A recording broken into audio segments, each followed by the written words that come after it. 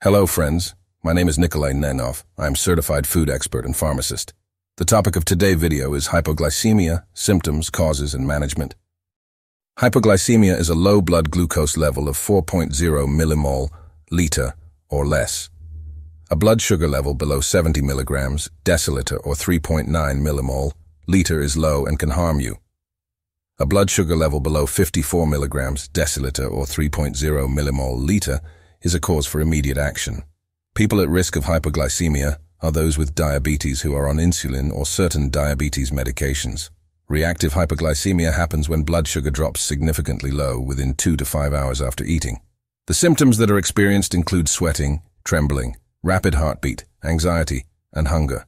Most commonly, very low levels of blood sugar are due to an oversecretion of insulin from the pancreas. The decrease in blood sugar levels leads to an increase in stress hormones, such as adrenaline and cortisol. This halts the ongoing decrease in blood sugar. An individual suffering from hypoglycemia can exhibit either some or all of the following symptoms.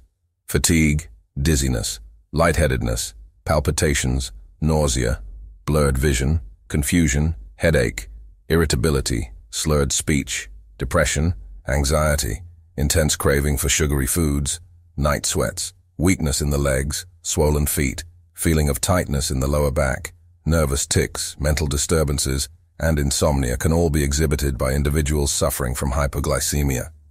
Those experiencing hypoglycemia may also become highly aggressive. It is considered that intense stress contributes to the increasing incidence of hypoglycemia. Regulation of blood sugar. After consuming a meal, your body metabolizes food into glucose. This glucose, serving as the primary energy source, is transported into cells through the aid of insulin, a hormone produced by the pancreas. Insulin facilitates the entry of glucose into cells, supplying them with the necessary fuel. Excess glucose is stored in the liver and muscles as glycogen. During periods of prolonged fasting, when your blood sugar level decreases due to not eating for several hours, insulin production diminishes. Another pancreatic hormone, glucagon, prompts your liver to degrade stored glycogen, releasing glucose into your bloodstream. This process maintains your blood sugar within a normal range until your next meal. Additionally, your body has the capability to generate glucose, primarily in the liver, but also in the kidneys. With prolonged fasting, the body can break down fat stores and use products of fat breakdown as an alternative fuel. Possible causes of hypoglycemia in people with diabetes. In the case of diabetes, you could either have insufficient production of insulin, known as type 1 diabetes or reduced responsiveness to it, referred to as type 2 diabetes.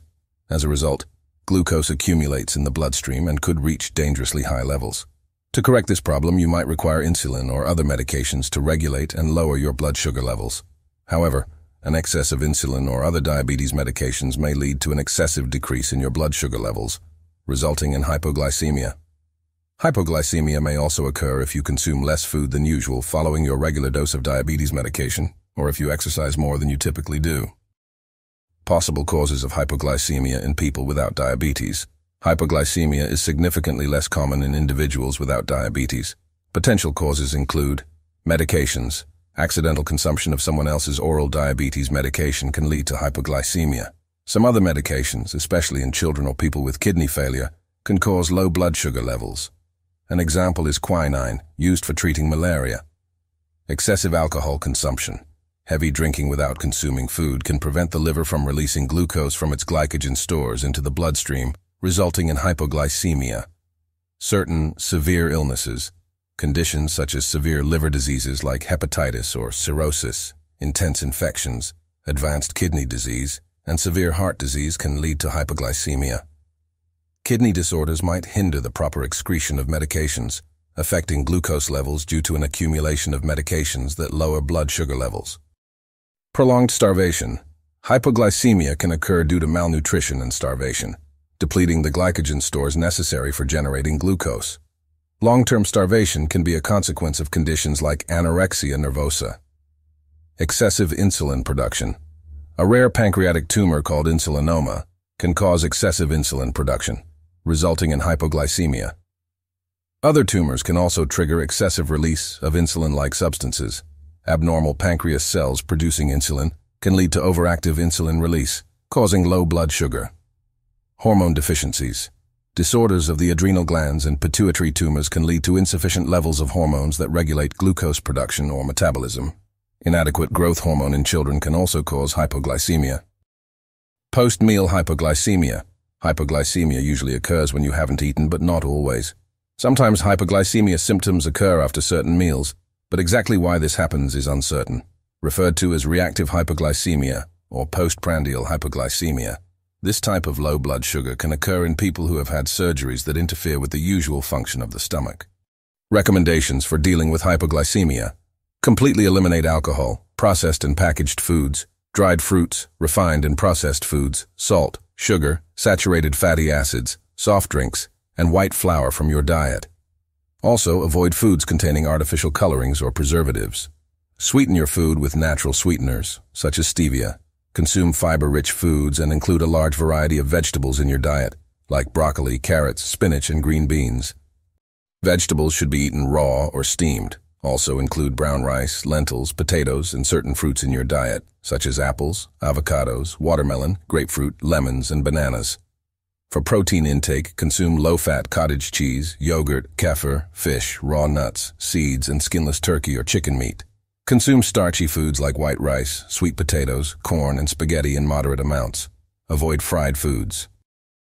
Engage in regular physical activity. This helps maintain a steady blood sugar level. Eat one to three hours before exercise. Minimize stress. It is a major contributor to hypoglycemia, affecting adrenal gland function and blood sugar levels. Practice stress reduction techniques like meditation, listening to relaxing music, massage, or deep breathing. Thank you for watching my video. Don't forget to subscribe for more informative content and hit the like button if you found this video helpful. If you have any questions or suggestions for future topics, please leave them in the comments below. Remember, your journey towards better health starts with informed choices. Stay tuned for more health and wellness insights. See you next time.